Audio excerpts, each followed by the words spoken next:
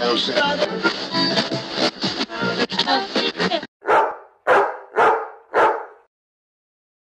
Year's, everybody. Happy New Year's. Nah, I mean, I hope y'all having a good New Year's. Don't worry. Nah, I mean, be happy, man. How y'all feeling, man? Let's go. One for New Year's. Happy New Year's. Woo! Nah, I mean, I know everybody pumped up, pumped up, but uh, let's walk into this slowly. You know what I mean? Let's let's let's um take our time with this, man. Don't jump right into 2021, you know what I mean, all crazy, you know what I mean? Head dive straight into there, you know what I mean? Um we to take it slow. Um discipline is is is big for me this year, you know what I mean? And uh let's kick it off right. Y'all see it, man. Y'all see it. Uh-huh. Uh-huh. Napoleon Hill, get you a copy. We left off right before Christmas. We was uh in the fourth chapter. So we gonna get this going, man. Follow the last books, and uh, you'll get um all the content to see and catch up. You know what I mean? Like, subscribe, do all that good stuff. You know what I mean? Let's get into it. Let's go. Let's get into it. You dig? Create thought habits which are favorable to your efforts to transmute desire into its monetary equivalent. Go back to these six steps described in chapter 2 and read them again very carefully before you proceed further. Then, when you come to it, read very carefully the four instructions for the organization of your mastermind group described in the chapter on organized planning. By comparing these two sets of instructions with that which has been stated on autosuggestion, you, of course, will see that the instructions involved in applications of the principle of autosuggestion. Remember, Therefore, when reading aloud the statement of your desire, through which you are endeavoring to develop a money consciousness, that the mere reading of the words is of no consequence unless you mix emotion or feeling with your words. If you repeat a million times the famous Emil Carl formula, day by day, in every way, I am getting better and better, without mixing emotion and faith with your words, you will experience no desirable results. Your subconscious mind recognizes and acts upon only thoughts which have been well mixed with emotion or feeling. This is a fact of such importance as to warrant repetition in practically every chapter, because the lack of understanding of this is the main reason the majority of people who try to apply the principle of autosuggestion get no desirable results. Plain, unemotional words do not influence the subconscious mind. You will get no appreciable results until you learn to reach your subconscious mind with thoughts or spoken words which have been well emotionalized with belief. Do not become discouraged if you cannot control and direct your emotions the first time you try to do so. Remember, there is no such possibility as something for nothing. Ability to reach and influence your subconscious mind has its price, and you must pay that price. You cannot cheat even if you desire to do so. The price of ability to influence your subconscious mind is everlasting persistence in applying the principles described here. You cannot develop the desired ability for a lower price. You and you alone must decide whether or not the reward for which you are striving, the money consciousness, is worth the price you must pay for it in effort. Wisdom and cleverness alone will not attract and retain money except in a few very rare instances where the law of averages favor the attraction of money through these sources. The method of attracting money described here does not depend upon the law of averages. Moreover, the method plays no favorites. It will work for one person as effectively as it will for another. Where failure is experienced, it is the individual, not the method, which has failed. If you try and fail, make another effort and still another until you succeed. Your ability to use the principle of autosuggestion will depend very largely upon your capacity to concentrate upon a given desire until that desire becomes a burning obsession. When you begin to carry out the instructions in connection with the six steps described in the second chapter, it will be necessary for you to make use of the principle of concentration. Let us here offer suggestions for the effective use of concentration. When you begin to carry out the first of the six steps, which instructs you to fix in your own mind the exact amount of money you desire, Hold your thoughts on that amount of money by concentration or fixation of attention with your eyes closed until you can actually see the physical appearance of the money. Do this at least once each day. As you go through these exercises, follow the instructions given in the chapter on faith and see yourself actually in possession of the money. Here is a most significant fact. The subconscious mind takes any orders given it in a spirit of absolute faith and acts upon those orders, although the orders often have to be presented over and over again through repetition before they are interpreted by the subconscious mind.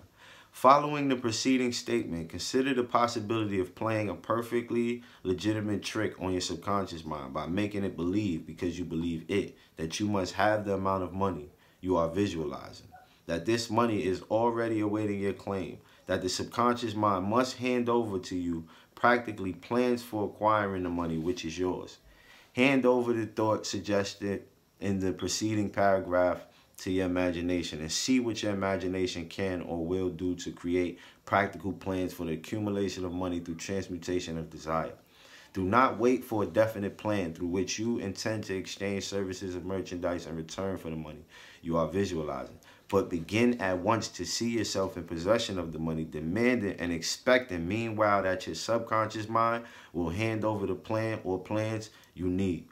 Be on the alert for these plans, and when they appear, put them into action immediately. When the plans appear, they will probably flash into your mind through the sixth sense in the form of an inspiration. This inspiration may be considered a direct telegram or message from infinite intelligence. Treat it with respect and act upon it as soon as you receive it.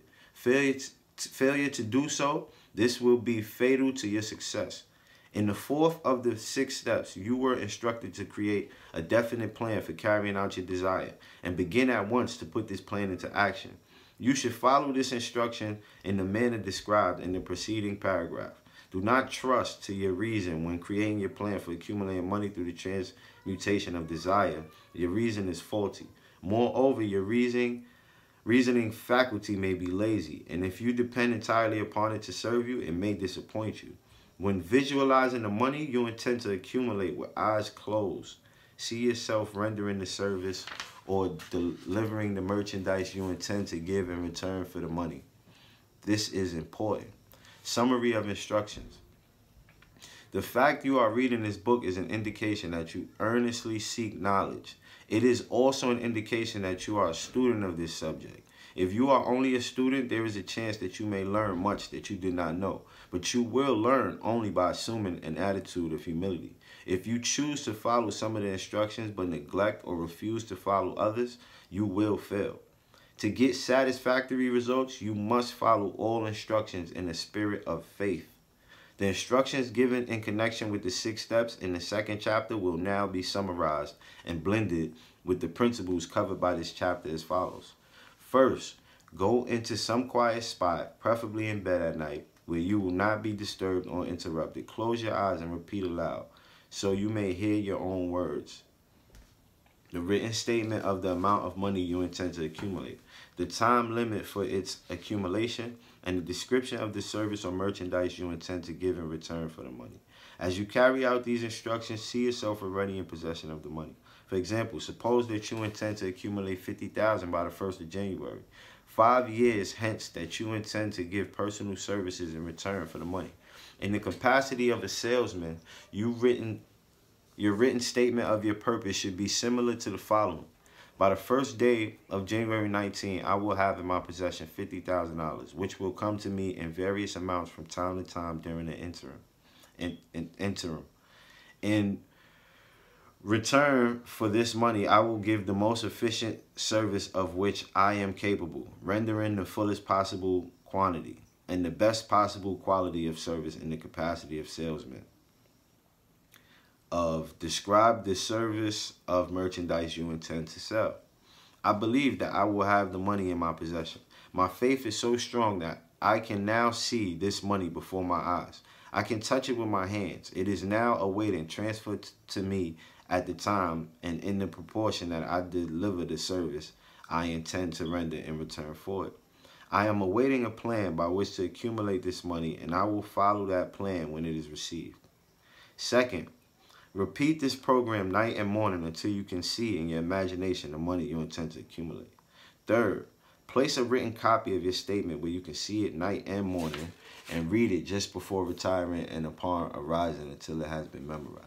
Remember, as you carry out these instructions that you are applying the principle of auto-suggestion for those purpose of giving orders to your subconscious mind, remember also that your subconscious mind will act only upon instructions which are emotionalized and handed over to it with feeling. Faith is the strongest and most productive of the emotions. Follow the instructions given in the chapter on faith. These instructions may at first seem abstract. Do not let that disturb you.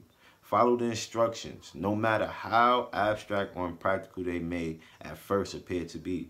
The time will come, will soon come. If you do as you have been instructed in spirit as well as in act, when a whole new universe of power will unfold to you. Skepticism in connection with all new ideas is characteristic of all human beings. But if you follow the instructions outlined, your skepticism will soon be replaced by belief, and this in turn will soon become crystallized into absolute faith. Then you will have arrived at the point where you may truly say, I am the master of my fate. I am the captain of my soul.